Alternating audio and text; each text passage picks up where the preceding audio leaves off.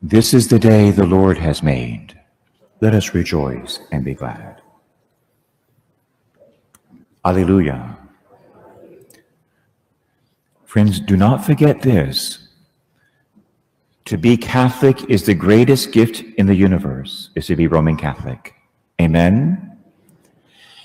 And one day soon, the entire world will be converted to the Catholic faith. The entire world. Bishop Sheen himself said that through Our Lady of Fatima, the entire Muslim world will become Roman Catholic. Did you know that? Venerable Bishop Fulton J. Sheen, through the prayers of Mother Mary, the entire Muslim world will become Roman Catholic. Is that amazing? This is true. Now, he's not the first saint to say, he's the latest saint to say that. Many saints have said that, including St. Louis de Montfort, Blessed or Venerable Mary of Agreda. Many saints have prophesied this. And so you and I, or you might say in the advance guard, we are in the front, the front runners to bring about the conversion of the entire world. The instrument God has given to us is called the flame of love. And Here's a copy of the diary. This is the abridged version of the diary, the one that most people have, called The Flame of Love. And you can purchase that on the internet through the Queen of Peace Media. It's very inexpensive. They sell it not to make money, just at expense. I think it's like $6. You may well want to get this book and to read it. It's unusually beautiful. It's a beautiful book, easy to read. Our Lord gave these locutions to a visionary in Hungary, in Budapest. And her name was Elizabeth Kindelman. That's the name of the visionary or the locutionist. He began to speak to her. She had a very difficult life. Elizabeth was married as a young woman to a young man in her church. They weren't rich, they were kind of poor, but they made it. I think he was a chimney sweep there in Budapest. They had six beautiful children, and then her young husband died, like in his 30s. So Elizabeth was left with six children and no husband in communist Hungary. Communist Hungary. That's why we have to pray for this beautiful country because we are in danger of becoming a communist country right now. That's what's happening. God will save us if we pray the flame of love. He will save this country. But when a country becomes communist, one of the first things they do is they shut down the churches. And they'll give you any reason why, like, for instance, COVID 19. They'll make any excuse in the world to stop you from worshiping God in Jesus Christ. Amen? I've worked with many people in communist countries. They say, Father, what's happening in this country is exactly what happened in our country. To be very, very careful. Only the Lord can rescue us now through his mother and the flame of love. He rescued Elizabeth. And what's important, I believe, what I see looking at Elizabeth Kindelman's life, is the fact that when her husband died, she left with six children in communist Hungary, where they were completely anti-Catholic. And anyone who was faithful to the Catholic faith was persecuted. She had a statue, of course, of Mother Mary in her house. The communists discovered that. They fired her from her job. So now, six children, no husband, no job, no money, no food. She and her children were on the streets. You talk about a hard life. Sometimes we think we have it hard. Six children, no husband, no job, no money, no food, now on the street. It was a nightmare. And Elizabeth, I'm sharing this with you on purpose to give you some idea of how great God is. Elizabeth lost her faith. She lost her faith in God. And as Bishop Sheen himself has said, it's in the Catechism as well.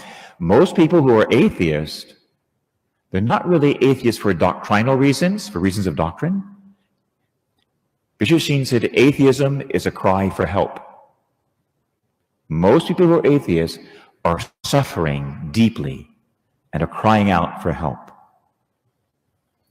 She lost her faith. If we have a misunderstanding of the nature of the triune God, the Trinity, then you and I, and I've heard this so many times from fellow Catholics, God forbid from priests, having the attitude like this You lost your faith? You're an atheist? You dirty, no good for nothing. You're evil. You're going to hell. I hate you. Get out of here. I've seen this in Catholic families all over the country. Someone loses their faith and we condemn them and we hate them. And we make their atheism worse. There's only one proper response to atheism love and prayer. If someone's atheistic, you love them and you pray for them. You let them know through you that God still loves them. Amen? He loves them. You pray for them and you love them. So far from condemning her, Elizabeth losing her faith on the streets, you know, maybe we would have lost our faith too. Maybe. That's why the Bible says never judge another person. Never, never judge them. You love them and pray for them. If they do wrong, you tell them gently, not hatefully, gently. The Lord, far from condemning her, wooed her back to faith. He wooed her back as a young man woos the girl he loves and dates her, and he whispers sweet nothings in her ear to win her back.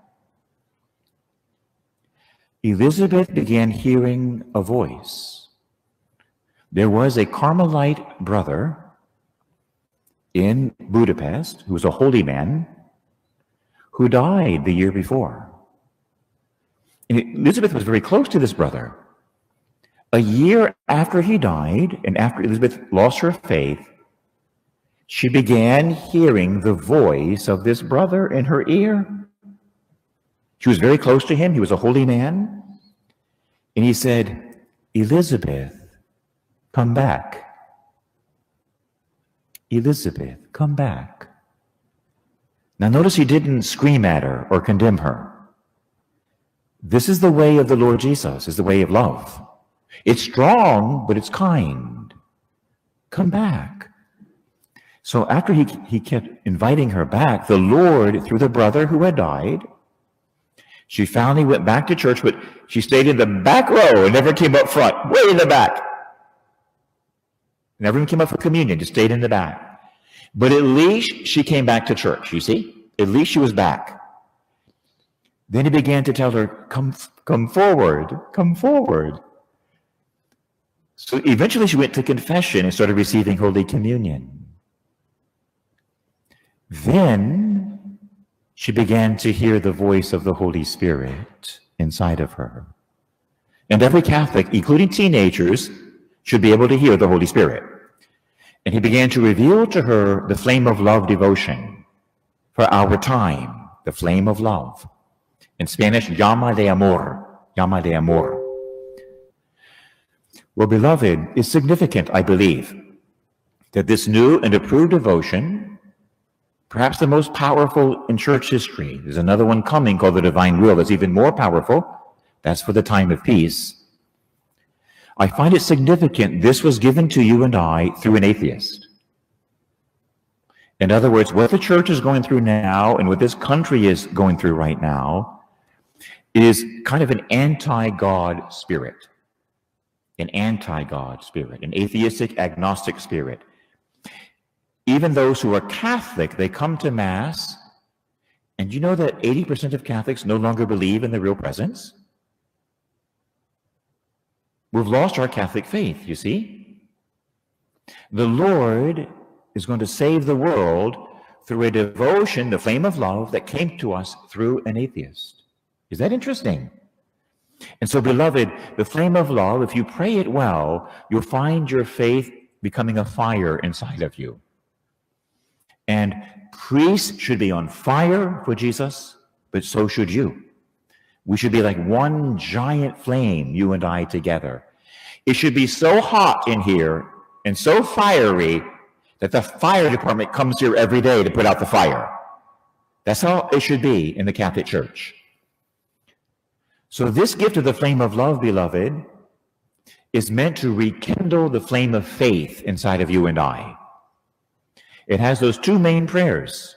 Is the unity prayer we just prayed. We're going to pray it again. I'm going to give you a copy. How many do you have, Deacon? You said you have a few extras? About 50? Why don't you pass them out now, respectfully, because the Lord is on the altar? And Deacon might need one or two helpers to help him maybe one for each family for now, since we have about 50 of them. This way, each family will have a copy of the prayer.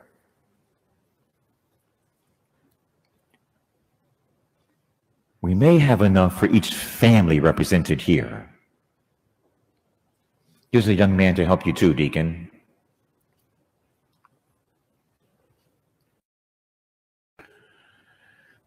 I wonder, Deacon, could we have this printed in the bulletin for next Sunday, for next week? We'll see if we can get this printed in the bulletin so everyone can have it maybe cut it out of the bulletin as well. We said this one already, and you want to know the promise of this amazing prayer. This has really almost never been heard before in the church. The promise is every time you say this prayer, I, the Lord, will come down and blind Satan. I will blind the devil, he says. And he said, if the devil is blinded, he can't see you. And if he can't see you, he cannot attack you. That's the promise of the Lord. I spoke to the bishop in charge of this devotion. His name is Cardinal Peter Erdo. He's the Archbishop of Hungary. He was the president of the European Bishops' Conference. He's a great man. He could well be a pope one day, perhaps one of the greatest bishops in the world today. Cardinal Peter Erdo approved this prayer because it happened in his diocese, and that's the rule of the church. So the local bishop needs to approve it first, and he did. And he said to me that because of that promise, they waited. It's such a powerful and significant promise. They had to wait to make sure it was from God. How could a prayer blind Lucifer? Raise your holy hand if you still need a prayer. I think they might have one or two left. Anybody else needs one? The unity prayer. Very good. Thanks be to God. The, the Lord multiplied the prayer cards, I think. So we're going to try to say the prayer again. We want to blind him from your life for the rest of the day. We're being asked to say it every day. And I want to tell you, if you start saying this prayer beginning today, you will feel a difference in your life within a week. In other words, the demonic forces that may be attacking you, they will be blinded and paralyzed from attacking you. Everyone who uses prayer notices a difference in their life within days. Whatever evil may be attacking you. So we're going to say it again now in the name of the Father and the Son and the Holy Spirit the unity prayer. Would you again, beloved, say this after me, but line by line? My adorable Jesus, may our feet journey together. May our hands gather in unity. May our hearts beat in unison. May our souls be in harmony. May our thoughts be as one.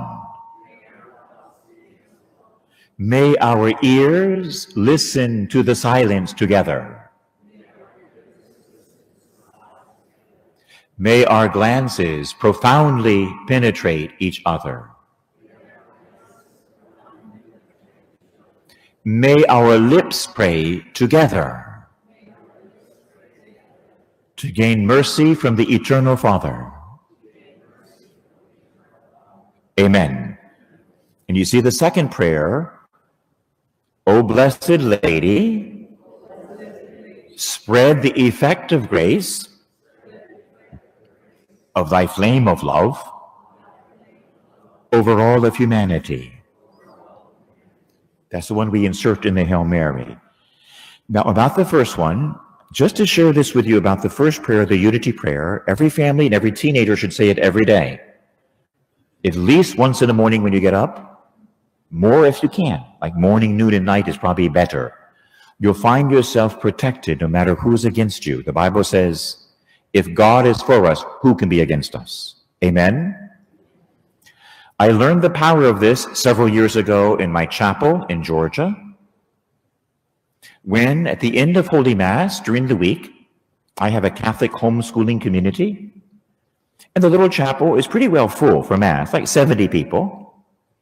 At the end of Holy Mass a couple of years ago, I had been finished studying the book and reading about the prayers. They had been approved by, in the English edition, by Archbishop Chaput, who's a great bishop, by the way, just retired. I was reading about it in the promises. I was very intrigued as an exorcist, what it was saying. At the end of Mass, a woman from another country was visiting. She stood up at the end of Mass and began to scream she put her hands up in the air, began to flail her hands wildly. She began to foam at the mouth like an animal with rabies, foaming at the mouth. She began to speak in a foreign tongue. It was not a regular language. It was not holy tongues. It was a demonic tongue. It would give you the heebie-jeebies to hear it, kind of creepy, you know.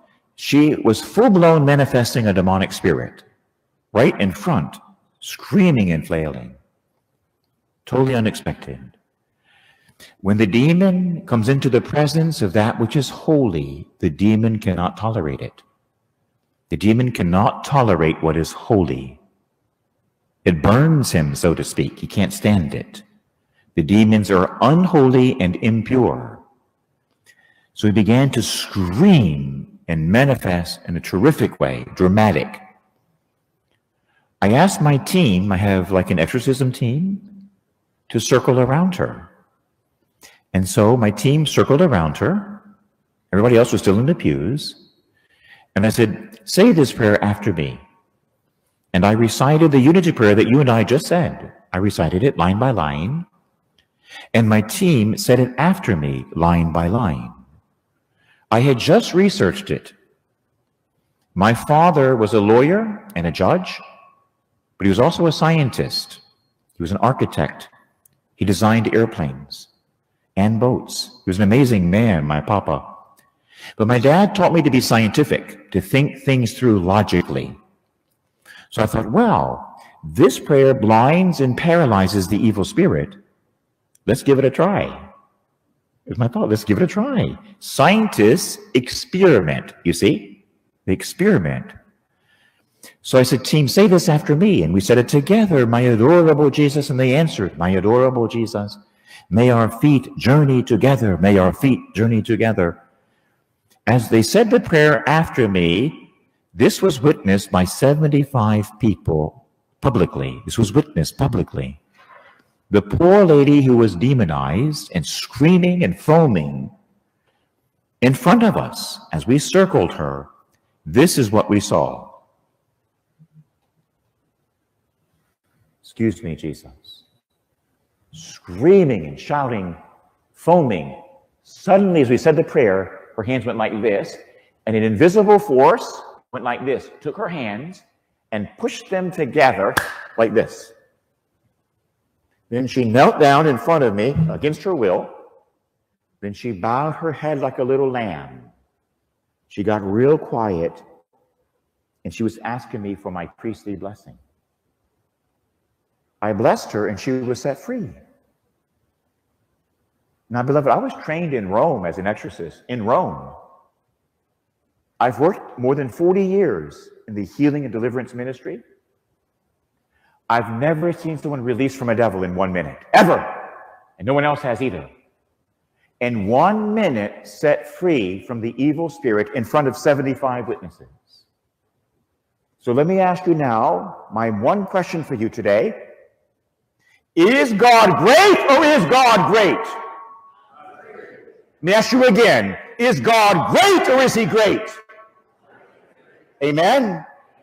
So, do you see what a great God we serve? The Lord Jesus Christ, blessed be his name. He can do anything, and he will if you use the gifts he gave you. Amen? He's all powerful.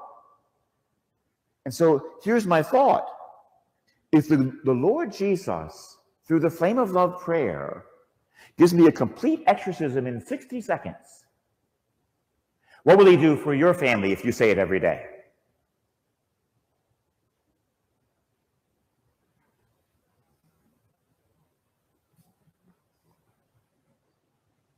Amen.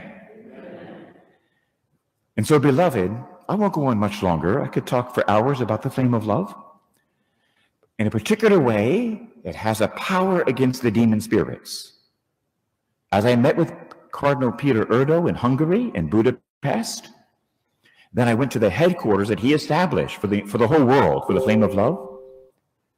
I found out through our meetings that four other priests who were exorcists like myself had exact same experience that I had. Simply by praying this prayer, people in front of them were re- released from evil spirits completely in 60 seconds. We have never seen that ever. Except maybe when Jesus himself did an exorcism. He would point, boom, and they'd be set free, you know? God has given the church a new power. And you want to realize, beloved, what we're fighting. You probably know this already. For instance, pornography is satanic. When I go to bless a home, I know when there's an evil spirit in the home. I say, someone's watching pornography in your house, aren't they? You can feel the pornographic spirit in the house. Pornography is satanic. It comes from hell. And Our Lady of Fatima said, more souls go to hell because of sins of the flesh than any other reason. Amen? For instance, marijuana, cocaine, and crack there's a demon in the Bible called pharmacia or pharmacon, depending on the, on the translation. Pharmacia or pharmacon. What does that sound like? Yes, pharmacy. The same root word. There is a drug demon. I've seen him. I've seen him. I prayed over people who were dying of drug overdoses and they were healed and set free in front of me. There's a demon of drug abuse. For instance, the television especially the news, is constantly lying and exaggerating and blocking what is true and what is good. The Lord Jesus Christ said, Satan is the father of lies. Our news agencies are lying to you day and night. You realize that, don't you? They're constantly lying to us, constantly. That's satanic. That's satanic. Now, here's another example. This is not political. This is just a fact. I'm not Republican or Democrat. I'm independent. I voted at every election since I was 18. I voted in every single election as an independent. We have a man in the White House who calls himself Roman Catholic and will kill your children and smile. He's presided over for 47 years in government the slaughter of more than 50 million babies in the womb. And he dares to call himself a devout Roman Catholic? If that's a devout Roman Catholic, I hate to see what a bad Roman Catholic is. Beloved, this is insane and it's, it's satanic to call yourself Roman Catholic and to kill unborn children. Do you get my drift? I don't care who it is, Republican or Democrat. Amen? We are living in a satanic age, a satanic age. And John Paul said before he died, we're in the greatest battle between light and darkness since the fall of Adam and Eve in the Garden of Eden. Beloved, God knows this, and He's given us the means to victory. You've already received them today. There's no reason why anyone here should lose their soul. I want everyone here to go to heaven. Amen? I'm going to claim you right now, I have authority as a priest. Lord, I claim everyone in the church right now for heaven. I see demons over some of you, especially some of the younger ones. I bind the evil spirits over you. I bind them in the holy name of Jesus. Jesus, save everyone here. Fill them with the Holy Spirit, with the flame of love. Fill them. Don't let them lose their souls. Save everyone here. Make them holy, Jesus. Make them holy. Let them have a great love for you as Mary loved you and give their lives purpose and meaning. Amen. One Hail Mary that nobody here will lose their soul. Okay? To pray for each other right now. Hail Mary, full of grace, the Lord is with thee. Blessed art thou amongst women, and blessed is the fruit of thy womb, Jesus.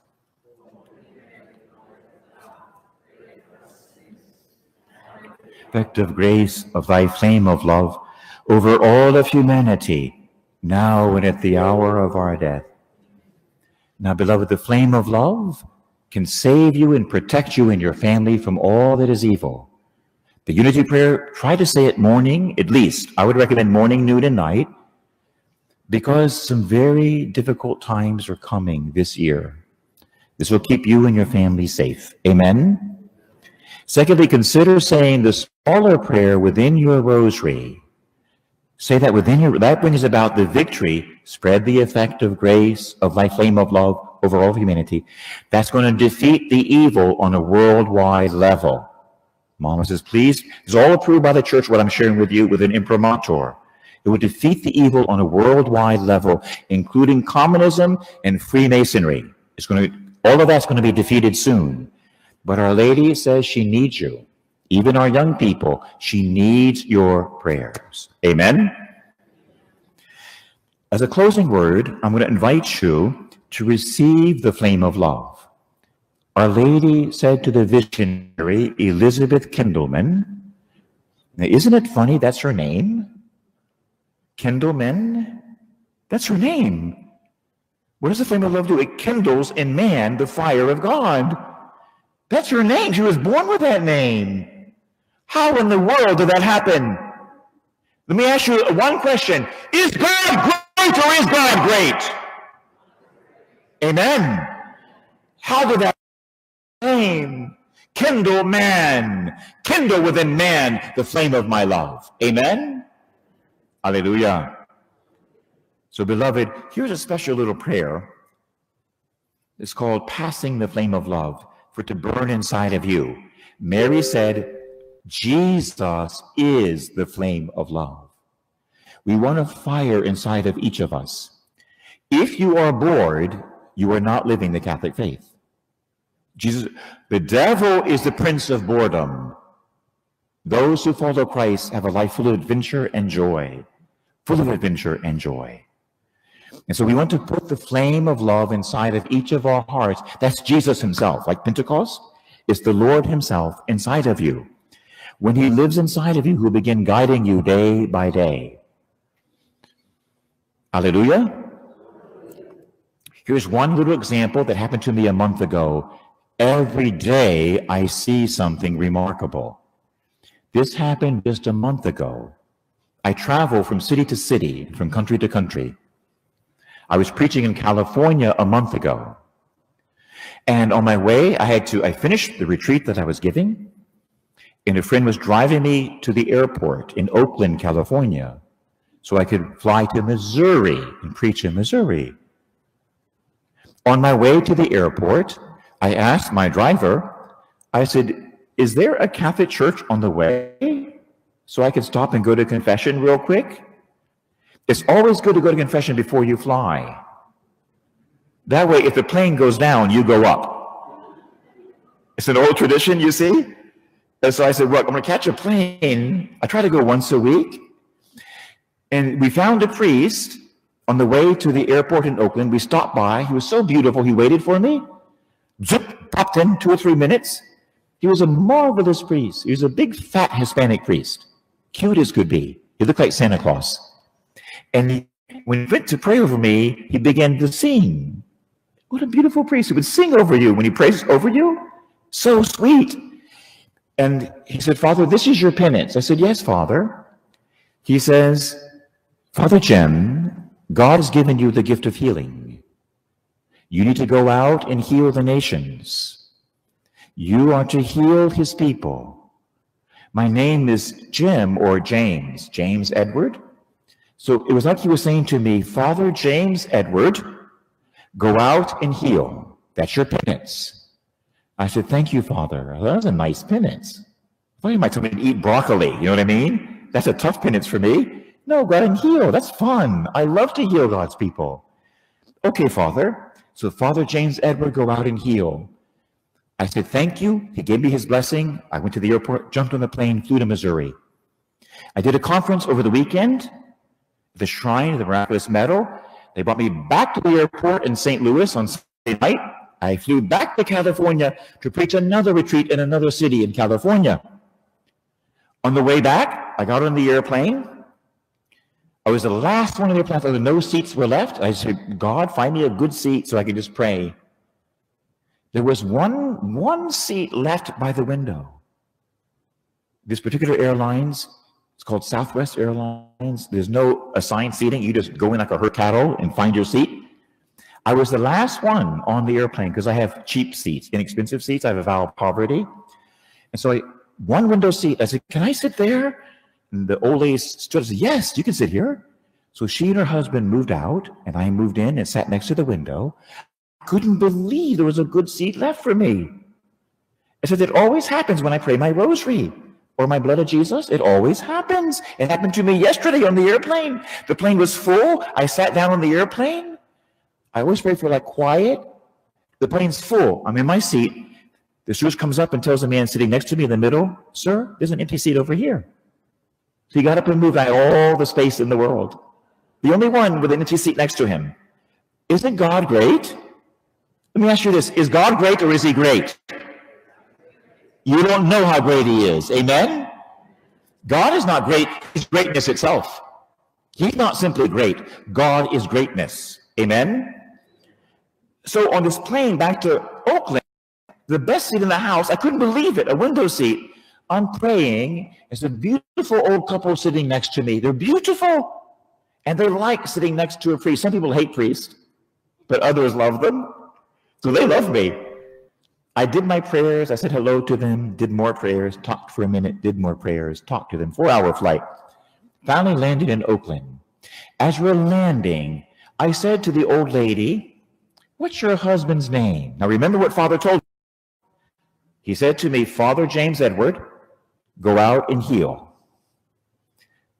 I went to Missouri, did a healing service and many other things. Many miracles happened, flew back, as the plane is landing, I say to the old lady, What is your husband's name? So, oh, his name is Jim.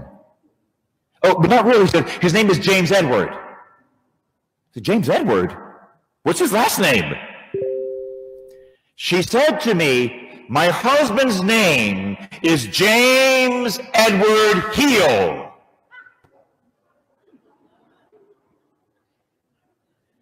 His name is James Edward Heal, and I was told by the priest, Father James Edward, go out and heal. Amen. Now I have one question for you. Is God great or is God great? How did that happen? Somebody tell me. How did that happen? Because God is great. Amen.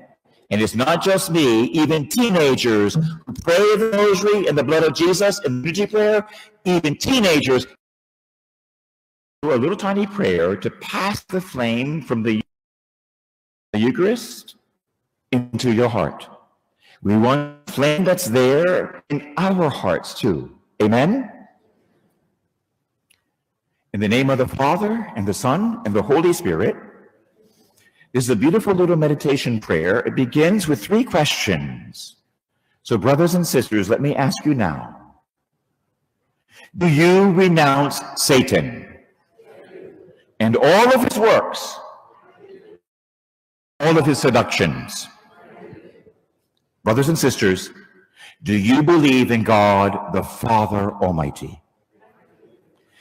Do you believe in Jesus Christ, his only Son, our Lord? Do you believe that he was conceived by the power of the Holy Spirit? Do you believe that he was born of the Virgin Mary? Brothers and sisters, do you want to receive the flame of love of Jesus Christ? Do you want the flame of love that's also in the Immaculate Heart of Mary beating within your heart? Now, brothers and sisters, with your eyes closed, would you open the door of your heart right now before the Lord in the Eucharist? There's little doors on your soul. Open the doors of your soul right now before the Eucharist and allow the flame of love to pass from my heart and from the Eucharist through the air into your heart. Open your heart's doors and allow the flame to pass from the altar into you. Invite Jesus to be the very center of your life. Not a Jesus, a living Jesus, a flame of love. See the flame come into you and set you on fire in your heart, a good fire. It doesn't burn you. It doesn't burn you. It's like the flame that Moses saw in the desert on the bush. The bush did not burn, but the flame was there. Now, the Virgin Mary is standing behind you and she's embracing you now. She's kissing you on the cheek. The Virgin is next to you now.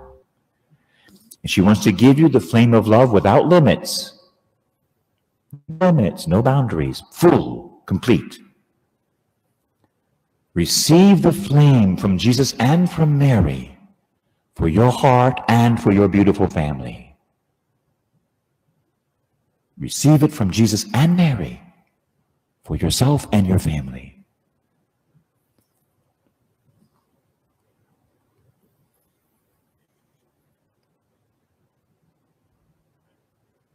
Now, I feel it's been, it's happened, it's been done. We're going to say Hail Mary with the inserted prayer. Hail Mary, full of grace, the Lord is with thee. Blessed art thou amongst women, and blessed is the fruit of thy womb, Jesus. Spread the effect of grace of thy flame of love over all of humanity. And now we'll sit in silence for a couple of minutes. You will feel the effect of it over time. Some of us feel it immediately. Over time, it becomes stronger and stronger and stronger, or as the weeks go by. Sit quietly now with that flame. I see everyone's been touched. I can see it in the spirit. Sit with it quietly for a few minutes. Then we're going to pray the chaplet of mercy together in just a moment.